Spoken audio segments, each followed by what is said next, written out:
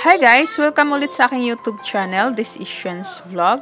Ayan guys, ang ibabahagi ko ngayon sa inyo na aking lulutuin ay tokwa in oyster sauce with uh, chili. Ayan, sweet and spicy na naman po ito guys. Sobrang napakahilig po ng uh, spicy ang inyong host na si Shans. Ayan guys, ay, yung tokwa po ay kailangan lang natin uh, hiwain into cubes. So, Let's get it on!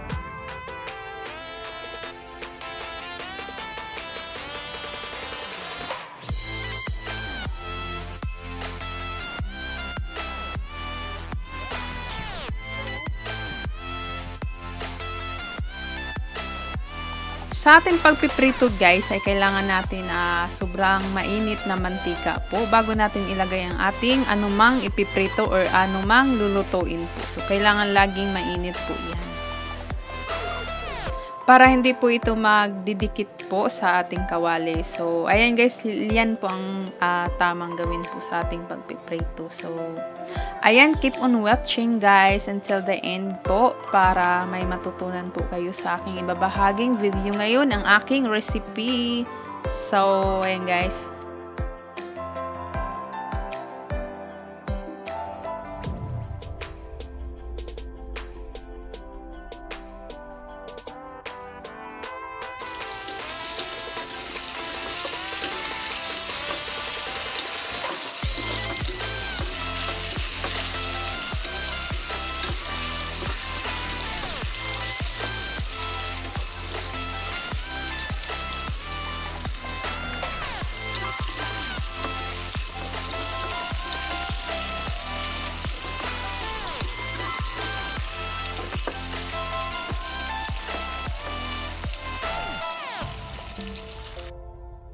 As you can see guys, uh, crispy na po ang ating kukwa. So, pwedeng pwede na po ito.